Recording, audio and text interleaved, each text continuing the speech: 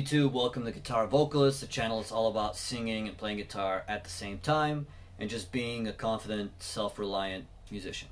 So if you're new here, you like what you see and hear, be sure to toss a like or a subscribe. It's a great way, easy way to support me and what I'm doing. So today, I really want to talk about why it is that rock music in 2020, right now it's 2020, it's actually coming to an end, uh, why rock music is still my favorite genre after basically two decades of me being active and listening to music, or maybe more.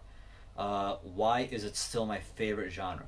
And for the purposes of the video, I really put rock and metal under the same umbrella. I know they're not the same thing, but I think that putting them under the same kind of category uh, is worth it for this video because they've both been on a decline over the past 10 years, and they've both been kind of, uh, uh, they both have a lot of similarities and overlap. So the number one reason why I still listen to rock is that it's just it's just raw, unfiltered, often comes from the underground, and it just has this real, genuine human emotion and energy, which you just kind of don't see in the homogenized pop music of today. Like rock bands and classic rock music and everything having to do with rock pretty much was recorded with a band where they basically had to uh, not use auto tune they all had their own guitars, their own sounds, and there was just a varied sound. Like if you listen to ACDC versus Metallica versus Guns N' Roses versus, uh, I don't know, Skid Row, whatever, any band, they had different sounds. Like the hi hat sounded different, the bass sounded different, the guitar, everything sounded different.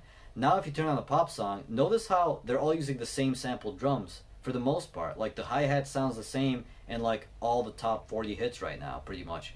So it's it kind of homogenizes the sound. It's not even about simplicity of the music or about like pop music is lame or any of that. It's like just the sounds are so similar, so it's all homogenized. And this is also in part to do with the fact that we had a lot of uh, kind of monopolization of the music industry, so that really played a large role as well. And basically, who determines what the sounds are are way less people than they were 30 years ago or 20 years ago even. And the thing is, stemming back to the blues influence and everything, the imperfections of the sound without auto-tune and all of that really made rock music feel real, even if the guy messed up every now and then. Auto-tune just sucks the life out of it because it's not like it's wrong to use it here and there sparingly, but for the most part, if you have like an over auto-tune song, everyone just sounds the same. It's like I don't know if it's me singing, I don't know if it's that guy singing because it computerizes the sound and it corrects the pitch and it just sounds the same. Reason number two is the energy of rock music. I really like the vibe and energy. It's just when that chorus kicks in or that guitar sound or a solo or something gets played, you just you just want to get up and just you know just just break a phone book in half or something. I don't know. You just want to really do something really energetic. And in today's music and kind of the vibe and where things are going uh, yeah, there's some pop song that's like jolly, hee hee, I'm partying and drinking shots all the time. And then there's also like a lot of kind of slower, like this kind of vocals, and you know, it's like, oh, I'm in so much pain and blah blah blah. And I'm not saying rock music doesn't come with angst, especially with grunge, for example. But uh, yeah, there's just a lot more. You just want to get up and like kind of kick someone's ass, you know, in a in a positive way. Just just kick life's ass, you know. You just want to be like energetic, and that's something that I don't feel that true, genuine, raw energy from a lot of today's pop music.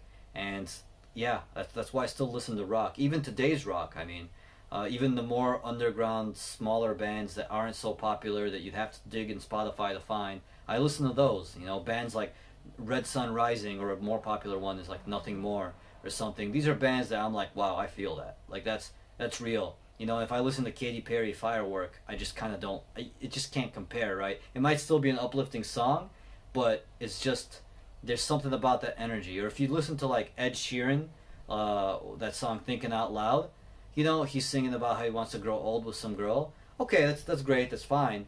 But then, like, if you compare that to like an, an '80s song, late late '80s song like Skid Row, "Youth Gone Wild," you know, the first opening line to that is, "When I was born, they couldn't hold me down." You know what I mean? So this guy, they couldn't hold him down, you know, and you're like, mm, that energizes me. And then there's this guy singing about how he wants to grow old with some girl, you know, and you're just sitting there fantasizing and he he he. And it's like, you know, obviously I'm picking very extreme, like kind of opposites, but at the same time, it's a little bit I don't know. Like, I kind of like that uplifting energy. And even if you take like a rock ballad from the 80s, like Love Bites by Def Leppard or Still Loving You by Scorpions, it's like, yeah, that guy, that guy loves the shit out of that girl, you know? Whereas the other guy right now, today, singing is kind of like, baby, I love you, yay.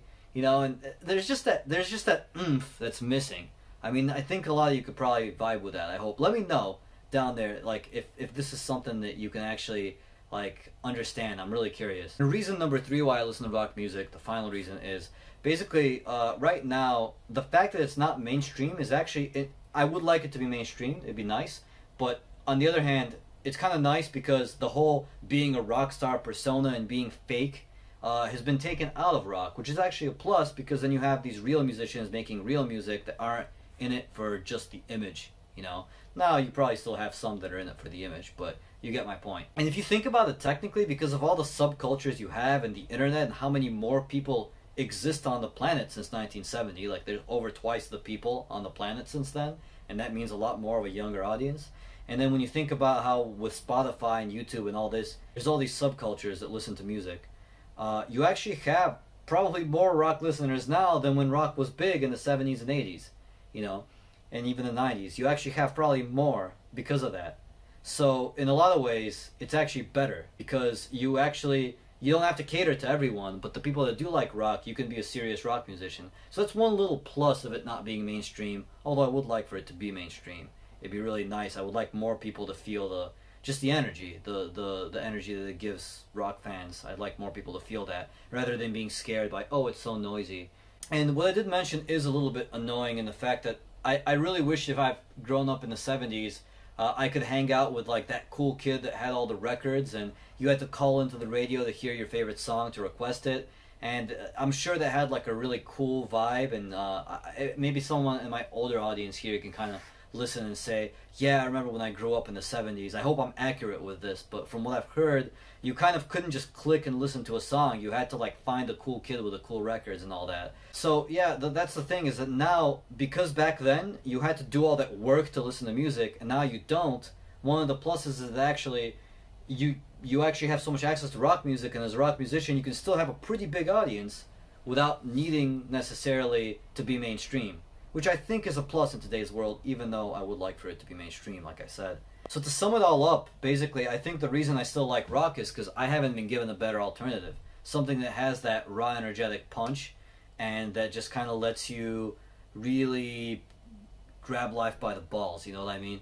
So yeah, let me know if uh, anybody else yeah feels that way. I'm really curious. And again, if you want to see more content like this, just uh, feel free to like and subscribe to the channel. And uh, that's it. I'm to sign out here because it's really dark. And I'm to see if I can brighten up this video, but we'll see.